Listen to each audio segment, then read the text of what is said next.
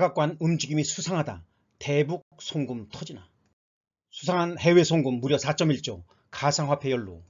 금감원 경고 무시한 은행권 이상 외환거래 7조 육박 대북 송금 아냐 비난 본물.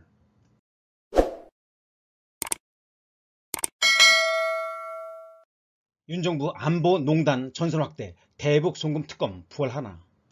대북 송금 루트 땐 국내은행 미 제재 대상 딜레마에 빠진 윤정부. 금융감독원이 27일 4조 원이 넘는 외화가 국내 가상자산 거래소에서 신한은행과 우리은행을 거쳐 해외로 송금된 것으로 파악됐다고 발표했습니다. 시장은 과연 이 자금이 어떤 성격의 돈인지에 대해 초미의 관심을 보이고 있습니다. 이처럼 거액의 자금이 몇몇 기업이나 개인을 거쳐 이와 관련해 시장에선 갖가지 추측이 나옵니다. 대북 송금 가능성 배제 못해. 가장 유력한 얘기는 북한의 자금 세탁에 이용됐을 가능성이다. 두 가지 사실이 이런 유출을 뒷받침하는데요. 첫째는 국가정보원이 이 거래를 조사하고 있다는 점입니다.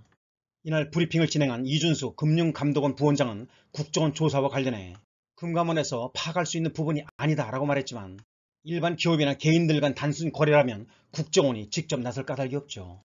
금감원은 해당 거래가 국내 가상자산 거래소로부터 이체된 자금이 무역법인 계좌로 모아져 해외로 송금되는 구조임을 확인했습니다.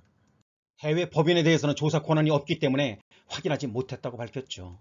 다만 주로 귀금속 관련 업체 등이었는데 주소가 불명확하거나 회사 실적이 거의 없는 등 정상 법인으로 보기 힘들다고 설명했습니다.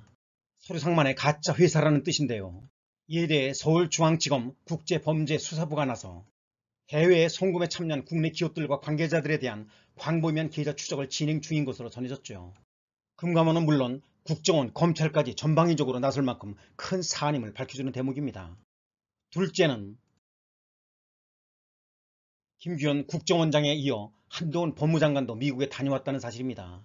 김 국정원장은 지난 19일 비공개로 미국을 방문했으며 한동훈 장관은 취임 44일 만인 지난달 29일 7박 8일 일정으로 미국에 다녀왔습니다. 한미 사법 공조를 위해서라지만 그가 방문한 곳은 세계 은행그룹과 연방수사국이었죠. 기획재정부 장관이 아닌 법무장관이 세계은행을 방문한 것은 이례적입니다. 한 장관은 세계은행의 클리포드 프레이저 부총재 겸 법무실장 대행, 모하마두 다이엔 부총재 겸 감사실장과 면담한 바 있습니다. 이 모두가 4조 원이 넘는 이상 외환 거래가 대북 송금과 관련이 있으며 이에 대한 의견 조율 차원의 방미였다는 게 일각의 분석입니다. 정부의 딜레마 만약 대북 송금과 관련이 있다고 해도 정부로선 이를 공식 발표할 수는 없는 상황인데요. 국내 은행들이 대북 송금을 도운 꼴이 되면서 미국의 제재 리스트에 오를 수 있기 때문입니다. 미국의 대북 독자 제재나 유엔 안보리 제재는 주의 의무를 규정하고 있죠. 의도치 않게 북한과 연루되더라도 처벌받을 수 있다는 의미입니다.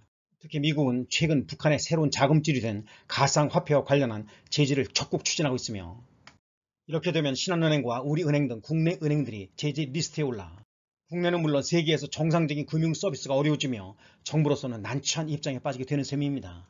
지난 19일 방한한 재닛 옐런 미 재무장관이 용산 대통령실 청사에서 윤석열 대통령을 만난 자리에서도 이 같은 문제가 논의됐을 가능성도 배제할 수 없습니다.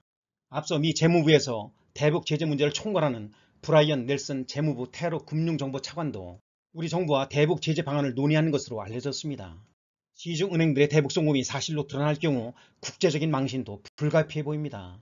금융권 관계자는 대북 송금을 도왔다는 사실이 밝혀지면 국내 은행의 시스템에 문제가 있다는 점이 국제적으로 드러나는 셈이라며 해외 사업에도 악영향을 줄 가능성이 크다고 말했습니다. 지금까지 시청해 주셔서 진심으로 감사합니다. 카리스마 코리아였습니다.